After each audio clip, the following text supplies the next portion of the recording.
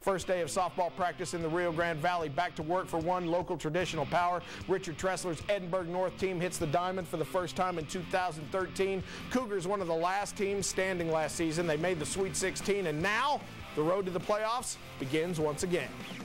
I am super excited. I can't wait for the season because I know that we're just going to supersede what we did last year, and we have an awesome team coming back, and I'm just super ecstatic. Well, we have uh, you know eight girls from last year's team returning that uh, you know have that experience under their belt with some real good uh, young talent that came in, and uh, I think we can build, you know, bring them along and and, and continue, uh, you know, try to pick up where we left off last year. Here is the softball calendar. Today was the first practices, January 28th, the first scrimmages, February 11th, the first games, and then the playoffs begin April 25th.